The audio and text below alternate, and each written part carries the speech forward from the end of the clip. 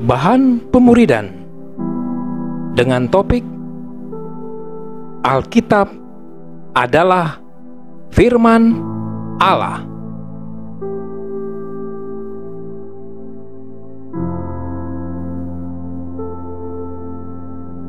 Dua Petrus 1 ayat 20 sampai 21 yang terutama harus kamu ketahui ialah bahwa nubuat-nubuat dalam kitab suci tidak boleh ditafsirkan menurut kehendak sendiri, sebab tidak pernah nubuat dihasilkan oleh kehendak manusia, tetapi oleh dorongan Roh Kudus. Orang-orang berbicara atas nama Allah.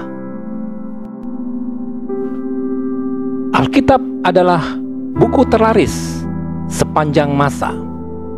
Ia unik jika dibandingkan dengan karya tulis lainnya karena sumber utamanya adalah Allah.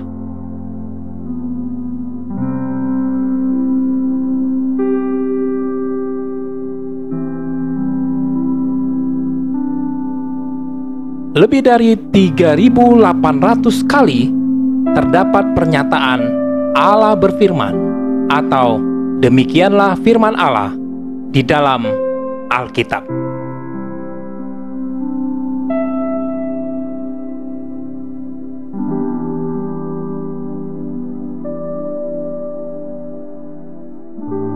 Paulus mengakui bahwa apa yang ia tulis adalah perintah Tuhan.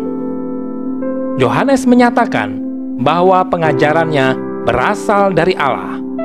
Petrus menyatakan bahwa nubuat merupakan hasil dorongan dari Roh Kudus.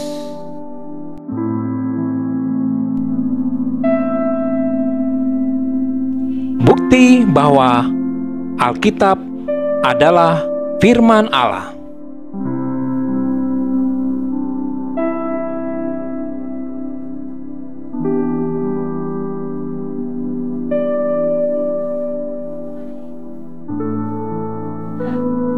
Yang pertama, kesatuan Alkitab.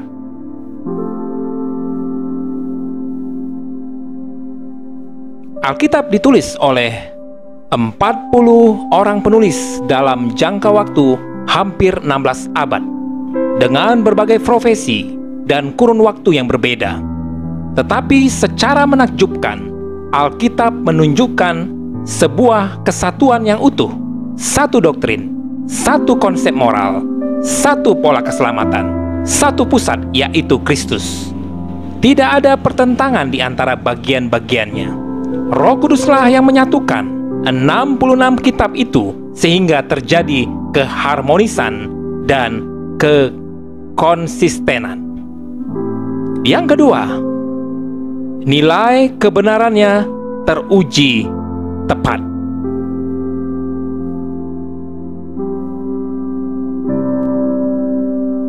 Ketepatan sains dalam Alkitab membuktikan bahwa Alkitab adalah wahyu Allah Salah satunya yang menyatakan bahwa bumi itu bulat. Kemudian, dari segi sejarah, penggalian arkeologi juga mendukung kebenaran catatan Alkitab. Dan berbagai nubuatan di dalam Alkitab tergenapi seluruhnya, terutama nubuatan tentang Kristus.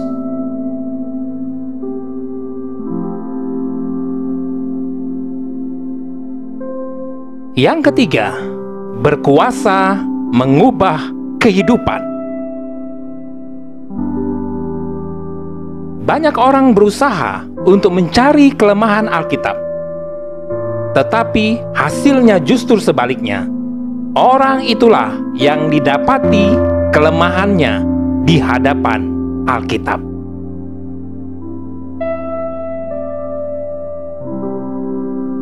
Banyak orang jahat yang bingung mencari jalan keluar dari kejahatannya. Setelah membaca Alkitab, mereka menemukan prinsip-prinsip untuk hidup yang benar.